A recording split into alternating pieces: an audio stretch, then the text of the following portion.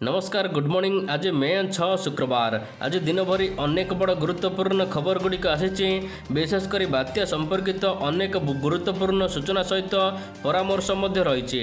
ସେହିପରି ଆଜିର ସୁନା ଦର ହେଉ କିମ୍ବା କ୍ରିକେଟ ଖବର ହେଉ ପରୀକ୍ଷା ସମ୍ପର୍କିତ ଅନେକ ବଡ଼ ଗୁରୁତ୍ୱପୂର୍ଣ୍ଣ ଖବରଗୁଡ଼ିକ ରହିଛି। କେନ୍ଦ୍ର ସରକାର ଏବଂ ରାଜ୍ୟ ସରକାରଙ୍କ ନୂଆ ଯୋଜନା ମଧ୍ୟ ରହିଛି। ତେବେ ଆସନ୍ତୁ ଆଜି ସକାଳର ସମସ୍ତ ଗୁରୁତ୍ୱପୂର୍ଣ୍ଣ ଖବରଗୁଡ଼ିକ ଉପରେ ନଜର ପକାଇବା। ନମ୍ବର ଏକ ମ୍ୟାଟ୍ରିକ୍ ପରୀକ୍ଷାରେ ଛାତ୍ରଛାତ୍ରୀ ଅନୁପସ୍ଥିତ ଘଟଣା। ମ୍ୟାଟ୍ରିକ୍ ପରୀକ୍ଷାରେ ଛୟାଳିଶ ହଜାର ଛାତ୍ରଛାତ୍ରୀ ଅନୁପସ୍ଥିତ ରହିବା ଘଟଣା। ସାମ୍ନାକୁ ଆସିଲା ବୋର୍ଡ ସଭାପତି ରାମାଶିଷ ହାଜରାଙ୍କ ପ୍ରତିକ୍ରିୟା। ସେ କହିଛନ୍ତି ଏ ନେଇ ଆମ ପାଖରେ କୌଣସି ନିର୍ଦ୍ଦିଷ୍ଟ ତଥ୍ୟ ନାହିଁ। ସବୁ ବିଷୟର ପରୀକ୍ଷା ଶେଷ ହେବା ପରେ କେତେ ପିଲା ପରୀକ୍ଷା ଦେଇନାହାନ୍ତି ଜଣାପଡ଼ିବ। ତେବେ ଏବେ ଯାଏ ପରୀକ୍ଷା ଦେଇନଥିବା ପିଲା ଅନ୍ୟ ବିଷୟରେ ପରୀକ୍ଷା ଦେଇପାରନ୍ତି। ନମ୍ବର ସାତ ୟୁଜିସିର ବଡ଼ ଘୋଷଣା। ପିଏଚ୍ଡି ପାଠ୍ୟକ୍ରମରେ ନାମ ଲେଖାଇବା ପାଇଁ ବିଶ୍ୱବିଦ୍ୟାଳୟ ଅନୁଦାନ ଆୟୋଗ ୟୁଜିସି ପକ୍ଷରୁ ବଡ଼ ଘୋଷଣା କରାଯାଇଛି। ଏ ନେଇ କେନ୍ଦ୍ରୀୟ ବିଶ୍ୱବିଦ୍ୟାଳୟମାନଙ୍କୁ ୟୁଜିସି ପକ୍ଷରୁ ପ୍ରସ୍ତାବ ପତ୍ର ପଠାଯାଇଛି। ଯେଉଁଥିରେ କୁହାଯାଇଛି ପିଏଚ୍ଡିରେ ଷାଠିଏ ପ୍ରତିଶତ ସ୍ଥାନରେ ଏନ୍ଇଟି ପରୀକ୍ଷାରେ ଉତ୍ତୀର୍ଣ୍ଣ ହୋଇଥିବା ଛାତ୍ରଛାତ୍ରୀମାନଙ୍କୁ ନାମ ଲେଖାଇବାକୁ ସୁଯୋଗ ଦିଆଯିବ।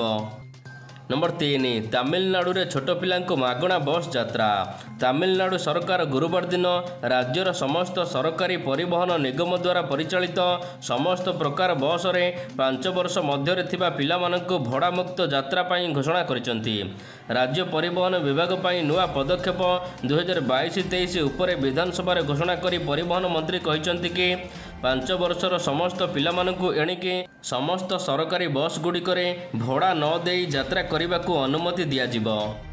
ନମ୍ବର ଚାରି ଚିଲିକାରେ ବୁଡ଼ିଗଲା ଡଙ୍ଗା। କାଳବୈଶାଖୀ ଜନିତ ପ୍ରବଳ ବର୍ଷା ଓ ପବନ ଯୋଗୁଁ କାଲି ଚିଲିକାରେ ଏକ ଡଙ୍ଗା ବୁଡ଼ି ଯିବାରୁ ଜଣେ ବ୍ୟକ୍ତି ନିଖୋଜ ହୋଇଥିବା ବେଳେ ଏଗାର ଜଣଙ୍କୁ ଉଦ୍ଧାର କରାଯାଇଛି। ଡଙ୍ଗାରେ ମୋଟ ବାର ଜଣ ଯାତ୍ରୀ ଥିଲେ ସେମାନଙ୍କ ମଧ୍ୟରୁ ଆଠ ଜଣ ହେଉଛନ୍ତି ପର୍ଯ୍ୟଟକ। ସେମାନଙ୍କୁ ସୁରକ୍ଷିତ ଭାବରେ ଉଦ୍ଧାର କରାଯାଇଛି। ତେବେ ସମସ୍ତ ପର୍ଯ୍ୟଟକମାନେ ହେଉଛନ୍ତି ବାଲେଶ୍ୱର ଜିଲ୍ଲା ରେମୁଣା ଅଞ୍ଚଳର। ଅନ୍ୟ ଚାରି ଜଣଙ୍କ ମଧ୍ୟରୁ ଦୁଇ ଜଣ ନାବିକ ଅନ୍ୟ ଦୁଇ ଜଣ ବାଲୁଗାଁ ଅଞ୍ଚଳର ଲୋକ ଥିଲେ। ନମ୍ବର ପାଞ୍ଚ ଆଉ ମିଳିବନି ବିଦ୍ୟୁତ୍ ସବସିଡି ମୋଦି ମଡେଲ ଆପଣାଇବେ କେଜରିୱାଲ ସରକାର। ଆଗକୁ ଯାହାର ଦରକାର ତାକୁ ହିଁ ମିଳିବ ବିଦ୍ୟୁତ୍ ସବସିଡି। ତେବେ ଏବେ ଦିଲ୍ଲୀରେ ସମସ୍ତଙ୍କୁ ବିଦ୍ୟୁତ୍ ସବସିଡି ମିଳୁଥିବା ବେଳେ ଅକ୍ଟୋବର ଏକ ତାରିଖ ଠାରୁ ଏଥିରେ ପରିବର୍ତ୍ତନ କରିବେ ଦିଲ୍ଲୀ ମୁଖ୍ୟମନ୍ତ୍ରୀ। ଅକ୍ଟୋବର ଏକ ତାରିଖ ଠାରୁ ଯେଉଁମାନଙ୍କୁ ଆବଶ୍ୟକ କେବଳ ସେହିମାନଙ୍କୁ ବିଦ୍ୟୁତ୍ ସବସିଡି ମିଳିବ। ତେବେ ମୋଦି କହିଛନ୍ତି ଯେଉଁମାନେ ଧନୀ ସେମାନଙ୍କର ସବସିଡି ଆବଶ୍ୟକତା ନାହିଁ। କିନ୍ତୁ କେଜରିୱାଲ ସରକାର ଏବେ ମୋଦିଙ୍କର ଏହି ମଡେଲକୁ ଆପଣାଇବାକୁ ଯାଉଛନ୍ତି। ନମ୍ବର ଛଅ ଏଥର ରଥଯାତ୍ରାରେ ପନ୍ଦର ଲକ୍ଷ ଲୋକ ସମାଗମ ହୋଇପାରନ୍ତି। ଏଥର ଘୋଷଯାତ୍ରାକୁ ଆସିପାରନ୍ତି ପୂର୍ବ ଅପେକ୍ଷା ଦୁଇ ଗୁଣ ଅଧିକ ଭକ୍ତ। ତେବେ ଆକଳନ ଯଦି ସତ ହୁଏ ପନ୍ଦରରୁ ଅଠର ଲକ୍ଷ ଲୋକ ଛୁଇଁପାରେ ଏ ବର୍ଷ ପୁରୀରେ। କୋଭିଡ୍ ଯୋଗୁଁ ଦୁଇ ବର୍ଷ ଧରି ଭକ୍ତମାନଙ୍କୁ ରଥ ପାଇଁ ବାରଣ କରାଯାଇଥିଲା। ଏ ବର୍ଷ ସମସ୍ତ ନିୟମ କଟକଣା କୋହଳ ହୋଇଛି। ରଥଯାତ୍ରାକୁ ସୁରୁଖୁରୁରେ ସମ୍ପାଦନ କରିବାକୁ କାଲି ପ୍ରଥମ ସମନ୍ୱୟ କମିଟି ବୈଠକ ବସିଥିଲା। ଜୁଲାଇ ଏକ ତାରିଖରେ ପବିତ୍ର ଗୁଣ୍ଡିଚା ଯାତ୍ରା।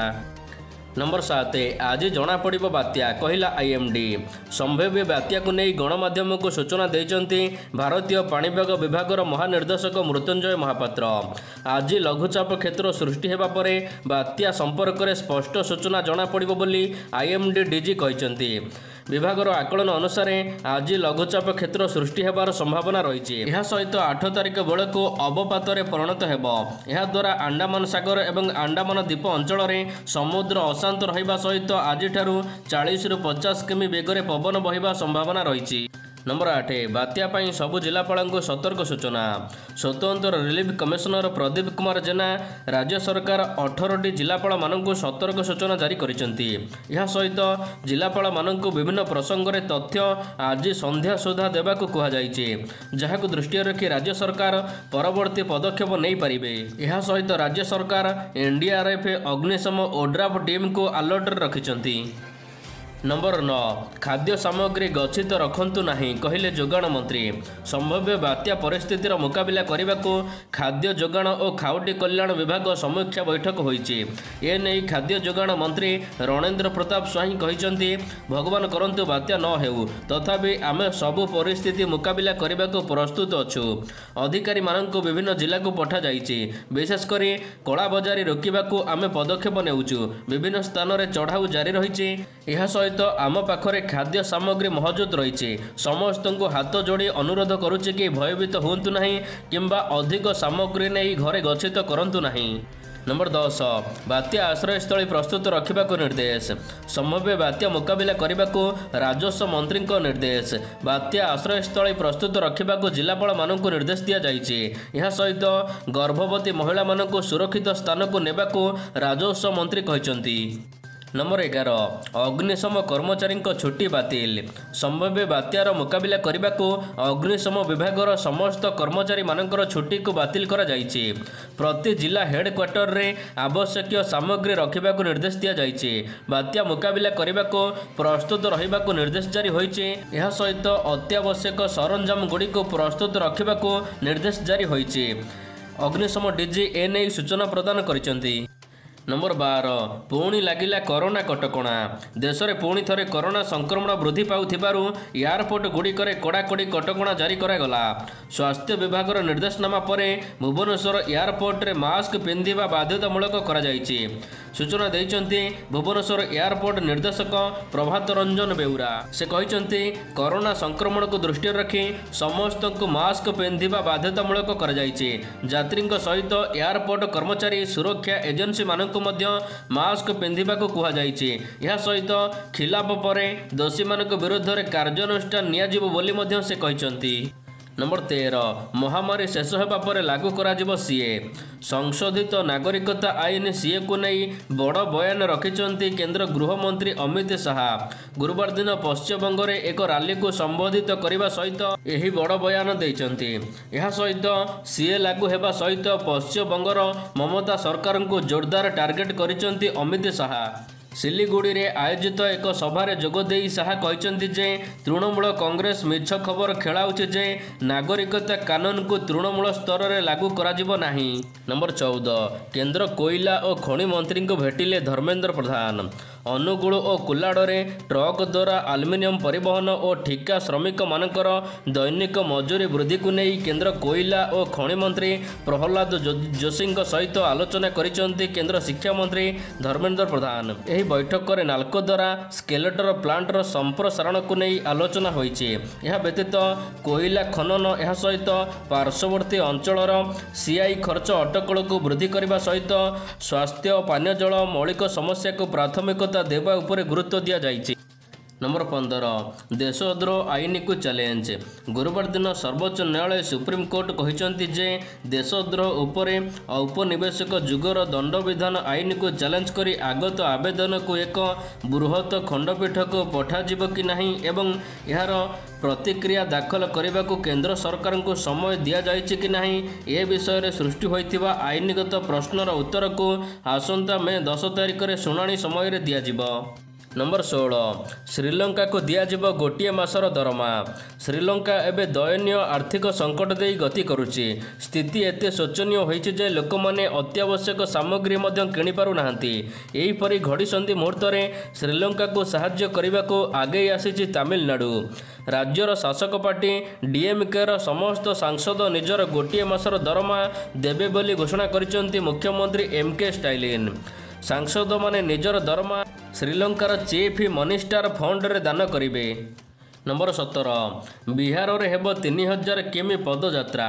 ପ୍ରଶାନ୍ତ କିଶୋରଙ୍କ ପରବର୍ତ୍ତୀ ପଦକ୍ଷେପ କ'ଣ ରହିବ ଏହାକୁ ନେଇ ସସ୍ପେନ୍ସ ଲାଗି ରହିଥିଲା।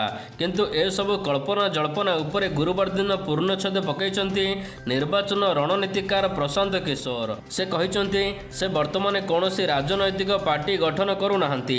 ବିହାରରେ ରାଜନୈତିକ ପରିବର୍ତ୍ତନ କରିବାକୁ ସେ ତିନି ହଜାର କିଲୋମିଟର ପଦଯାତ୍ରା କରିବେ ବୋଲି ଘୋଷଣା କରିଛନ୍ତି। ଏହି ପଦଯାତ୍ରା ଚମ୍ପାଚରଣ ଗାନ୍ଧୀ ଆଶ୍ରମରୁ ଆରମ୍ଭ କରାଯିବ। ନମ୍ବର ଅଠର ନିଜ ଦୋକାନରୁ ବହି କିଣା ବନ୍ଦ। ଦିଲ୍ଲୀ ସରକାର ଘରୋଇ ସ୍କୁଲକୁ ନେଇ ଏକ ଗୁରୁତ୍ୱପୂର୍ଣ୍ଣ ନିଷ୍ପତ୍ତି ନେଇଛନ୍ତି। ବର୍ତ୍ତମାନ ଦିଲ୍ଲୀର ଘରୋଇ ବିଦ୍ୟାଳୟଗୁଡ଼ିକ ସେମାନଙ୍କର ଦୋକାନରୁ ବହି କିମ୍ବା ୟୁନିଫର୍ମ କିଣିବାକୁ ବାଧ୍ୟ କରିପାରିବେ ନାହିଁ। ଏହାକୁ ନେଇ ଗୁରୁବାର ଏକ ସରକାର ଏକ ନିର୍ଦ୍ଦେଶନାମା ଜାରି କରିଛନ୍ତି। ଉକ୍ତ ଆଦେଶରେ କୁହାଯାଇଛି ଯେ ଯଦି କୌଣସି ସ୍କୁଲଗୁଡ଼ିକ ଏଭଳି କରୁଥିବାର ଦେଖାଯାଏ ସେମାନଙ୍କ ବିରୋଧରେ କଠୋର କାର୍ଯ୍ୟାନୁଷ୍ଠାନ ଗ୍ରହଣ କରାଯିବ। ଏନେଇ ଦିଲ୍ଲୀର ଉପମୁଖ୍ୟମନ୍ତ୍ରୀ ତଥା ଶିକ୍ଷାମନ୍ତ୍ରୀ ମନୀଷ ସିସୋଦିଆ ଟ୍ୱିଟ୍ କରି ସୂଚନା ଦେଇଛନ୍ତି। ନମ୍ବର ଉଣେଇଶ ଖାଇବା ତେଲ ଉପରୁ କମିବ ଟିକସ। ଖାଇବା ତେଲ ଦର ବଢ଼ି ଚାଲିଥିବାରୁ ସରକାରଙ୍କ ଚିନ୍ତା ବଢ଼ିଯାଇଛି ଏହା ସାଧାରଣ ଖାଉଟିମାନଙ୍କର ବଜେଟ୍ ବିଗାଡ଼ିବା ସହିତ ମୁଦ୍ରାସ୍ଫୀତିକୁ ଆହୁରି ବଢ଼ାଇବାର ଆଶଙ୍କା ରହିଛି। ଏହାକୁ ଦୃଷ୍ଟିରେ ରଖି ସରକାର କେତେକ ଖାଇବା ତେଲ ଉପରୁ ଟିକସ କମାଇବାକୁ ବିଚାର କରୁଛନ୍ତି।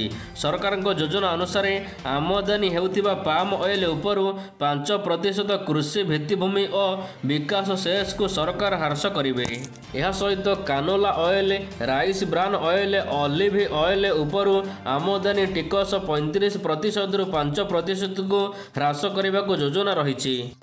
ନମ୍ବର କୋଡ଼ିଏ ପୁଣି ରେକର୍ଡ କରିବ ତାତି। ଉତ୍ତର ପଶ୍ଚିମ ଭାରତର କିଛି ଅଞ୍ଚଳରେ ପୁଣି ଥରେ ହେଭି ୱେଭ୍ ଫେରିବା ନେଇ ଆଶଙ୍କା ଦେଖାଦେଇଛି। ଭାରତୀୟ ପାଣିପାଗ ବିଭାଗ ଏ ନେଇ ସୂଚନା ଦେଇଛି ଗତ ଦୁଇରୁ ତିନି ଦିନ ମଧ୍ୟରେ ଉତ୍ତର ପଶ୍ଚିମ ଭାରତରେ ଅସହ୍ୟ ଗୁଳୁଗୁଳିରୁ ସାମାନ୍ୟ ମୁକ୍ତି ମିଳିଛି। କିନ୍ତୁ ଏହା ଖୁବ୍ ଶୀଘ୍ର ପରିବର୍ତ୍ତନ ହେବ ବୋଲି ପାଣିପାଗ ବିଭାଗ କହିଛି। ବିଶେଷ କରି ରାଜସ୍ଥାନ ମଧ୍ୟପ୍ରଦେଶ ବିଦର୍ଭ ଅଞ୍ଚଳରେ ଏବେ ହେଭି ୱେଭ୍ ସ୍ଥିତି ଉପୁଜିବା ନେଇ ଆଶଙ୍କା କରିଛି ଭାରତୀୟ ପାଣିପାଗ ବିଭାଗ। ନମ୍ବର ଏକୋଇଶ ବାର ବର୍ଷର ସମସ୍ତଙ୍କୁ ମିଳିବ କୋଭାକ୍ସିନ୍ ଟିକା। ଦେଶରେ ପୁଣି ଥରେ କରୋନା ମାମଲା ବଢ଼ି ଚାଲିଛି। ଏହାକୁ ଦୃଷ୍ଟିରେ ରଖି ଚତୁର୍ଥ ଲହର ଆସିପାରେ ବୋଲି ଆଶଙ୍କା କରାଯାଉଛି। ଏହାରି ମଧ୍ୟରେ ଶିଶୁମାନଙ୍କୁ ଟିକା ଓ ବୁଷ୍ଟର ଡୋଜ୍ ଉପରେ ଅଧିକ ଧ୍ୟାନ ଦେଉଛନ୍ତି ସରକାର। ଏହାରି ମଧ୍ୟରେ ବାର ବର୍ଷରୁ ଉର୍ଦ୍ଧ୍ୱ ସମସ୍ତଙ୍କୁ ମିଳିବ କୋଭାକ୍ସିନ୍ ଟିକା। ଏ ନେଇ ଟ୍ୱିଟ୍ କରି ସୂଚନା ଦେଇଛନ୍ତି ସିରମ ଇନଷ୍ଟିଚ୍ୟୁଟ୍ର ସିଓ ଆଦର ପୁନୱାଲା। ସେ କହିଛନ୍ତି ଯଥେଷ୍ଟ ପରିମାଣର କୋଭାକ୍ସିନ୍ ଟିକା ଏବେ ଉପଲବ୍ଧ ଅଛି। ନମ୍ବର ବାଇଶ କଂଗ୍ରେସ ବିଧାୟକଙ୍କୁ ତିନି ମାସ ଜେଲ୍ ଏହା ସହିତ ଆର୍ଥିକ ଜୋରିମାନା। କଂଗ୍ରେସ ବିଧାୟକ ଜିଗ୍ନେଶ ମୋବାନୀଙ୍କୁ ମିଳିଲା ତିନି ମାସ ଜେଲ୍ ଦଣ୍ଡ। ମହସାଣା କୋର୍ଟ ତାଙ୍କୁ ତିନି ମାସ ଜେଲ୍ ଦଣ୍ଡ ଦେବା ସହିତ ଏକ ହଜାର ଟଙ୍କାର ଜୋରିମାନା ଦେବାକୁ କହିଛନ୍ତି। ତେବେ ପାଞ୍ଚ ବର୍ଷ ପୂର୍ବେ ବିନା ଅନୁମତିରେ ରାଲି କରୁଥିବା ଟୋଟାଲ ବାର ଜଣଙ୍କୁ ଦୋଷୀ ସାବ୍ୟସ୍ତ କରିଛନ୍ତି ମହସାଣା କୋର୍ଟ। ନମ୍ବର ତେଇଶ କାଶ୍ମୀର ପଣ୍ଡିତଙ୍କ ପାଇଁ ଦୁଇ ଆସନ ସଂରକ୍ଷିତ ରହିବ। କେନ୍ଦ୍ରଶାସିତ ଅଞ୍ଚଳ ଜାମ୍ମୁ କାଶ୍ମୀର ବିଧାନସଭା ଆସନ ସଂଖ୍ୟା ବଢ଼ାଇବାକୁ ସୀମା ନିର୍ଦ୍ଧାରଣ ଆୟୋଗ ସୁପାରିଶ କରିଛି। ମୋଟ ସାତଟି ଆସନ ବୃଦ୍ଧି କରିବାକୁ ଆୟୋଗ ସୁପାରିଶ କରିଛି। ଏହାଫଳରେ ଜାମ୍ମୁ ଓ କାଶ୍ମୀରରେ ମୋଟ ବିଧାନସଭା ଆସନ ତେୟାଅଶୀରୁ ନବେକୁ ବୃଦ୍ଧି ପାଇବ। କାଶ୍ମୀର ପଣ୍ଡିତମାନଙ୍କ ପାଇଁ ଦୁଇ ବିଧାନସଭା ଆସନ ସଂରକ୍ଷିତ ରହିବ। ସେହିପରି ଅନୁସୂଚିତ ଉପଜାତି ବର୍ଗମାନଙ୍କ ପାଇଁ ନଅଟି ଆସନ। ଏହି ନଅଟି ମଧ୍ୟରୁ କାଶ୍ମୀରରେ ତିନୋଟି ଜାମ୍ମୁରେ ଛଅଟି ଆସନ ରହିବ। এবং ନମ୍ବର ଚବିଶ ଗୋଟିଏ ଫଟୋରେ ପୁରା ବ୍ରହ୍ମାଣ୍ଡ। ଏ ବିଶ୍ୱ ବ୍ରହ୍ମାଣ୍ଡ ରଚନା କଥା ଚିନ୍ତା କଲେ ମୁଣ୍ଡ ଘୁରେଇ ଯାଏ। ଏ ଯାଏ ପୁରା ବ୍ରହ୍ମାଣ୍ଡକୁ କେହି ବି ଆକଳନ କରିପାରି ନାହାନ୍ତି। ହେଲେ ଏବେ ନାସା ଜାରି କରିଛି ଏପରି ଏକ ଫଟୋ ଯେଉଁଥିରେ ଦେଖାଯାଉଛି ସମ୍ପୂର୍ଣ୍ଣ ବ୍ରହ୍ମାଣ୍ଡର ଛବି। ଯାହାକୁ ନାସା ଆମର ଦୃଶ୍ୟମାନ ବ୍ରହ୍ମାଣ୍ଡ ବୋଲି କହିଛି। ଗୋଟିଏ ଚିତ୍ର ତିଆରି କରିବା ପାଇଁ ଅନେକ telescope radio telescope radar space telescope ସାହାଯ୍ୟ ନିଆଯାଇଛି ବୋଲି ନାସା କହିଛି। ନମ୍ବର ପଚିଶ ଏପ୍ରିଲ ମାସରେ ଅଟୋମୋବାଇଲ ବିକ୍ରି ବୃଦ୍ଧି। ଏପ୍ରିଲ ମାସରେ ଅଟୋମୋବାଇଲ ସେକ୍ଟରରେ ଖୁଚୁରା ବିକ୍ରୟ ସଇଁତିରିଶ ପ୍ରତିଶତ ବୃଦ୍ଧି ପାଇଛି। ଏନେଇ federation of automobile dealers association ପକ୍ଷରୁ ଗୁରୁବାର ଦିନ ସୂଚନା ଦିଆଯାଇଛି। ଗତ ବର୍ଷ ଏପ୍ରିଲରେ ଭାରତ କରୋନା କବଳରେ ଥିବାରୁ ଅଟୋମୋବାଇଲ ସେକ୍ଟର ତୀବ୍ର ହ୍ରାସ ପାଇଥିଲା। ଦୁଇହଜାର ଏକୋଇଶରେ ଖୁଚୁରା ବିକ୍ରୟ ଏଗାର ଲକ୍ଷ ଅଠସ୍ତରୀ ହଜାର ସାତଶହ ଏକୋଇଶ ରହିଥିବା ବେଳେ ଚଳିତ ବର୍ଷ ଏହା ବୃଦ୍ଧି ପାଇ ଷୋହଳ ଲକ୍ଷ ସତେଇଶ ହଜାର ନଅଶହ ପଞ୍ଚସ୍ତରୀରେ ପହଞ୍ଚିଛି। ନମ୍ବର ଛବିଶ ରେଲବାଇରେ ଚାକିରି। ସରକାରୀ ଚାକିରି ଆଶା କରୁଥିବା ଲୋକମାନଙ୍କ ପାଇଁ ଭଲ ଖବର। ଦଶମ ପାସ୍ କରିଥିବା ଆଶାୟୀମାନଙ୍କ ପାଇଁ ରେଲୱେରେ ରହିଛି ବଢ଼ିଆ ଚାକିରି ସୁଯୋଗ। ଅର୍ଥାତ୍ ଆପଣ ଯଦି ଦଶମ ପାସ୍ କରିଛନ୍ତି ତାହେଲେ ଆପଣଙ୍କୁ ରେଲବାଇରେ ଭଲ ଚାକିରି ମିଳିପାରିବ। ଖାସ୍ କଥା ହେଉଛି ଆପଣ ବିନା ପରୀକ୍ଷାରେ ଏହି ଏହି ଚାକିରି ପାଇଁ ଉତ୍ତୀର୍ଣ୍ଣ ହୋଇପାରିବେ। ସୂଚନା ଥାଉ କି ସାଉଥ୍ ଇଷ୍ଟ ସେଣ୍ଟ୍ରାଲ ରେଲୱେ ପକ୍ଷରୁ ଏପରି ପଦବୀ ଗୁଡ଼ିକ ନିମନ୍ତେ ଆବେଦନ କରାଯାଉଛି। ମୋଟ ଉପରେ ଏକ ହଜାର ତେତିଶଟି ପଦବୀ ପାଇଁ ଆବେଦନ ଗ୍ରହଣ କରାଯାଉଛି। ପଚିଶ ଏପ୍ରିଲ ଠାରୁ ଚବିଶ ମେ ପର୍ଯ୍ୟନ୍ତ ଅନଲାଇନ୍ ମୋଡ଼ରେ ଆବେଦନ କରାଯାଉଛି। ନମ୍ବର ସତେଇଶ ରାଜନୀତି କରିବେ ଦାଦା।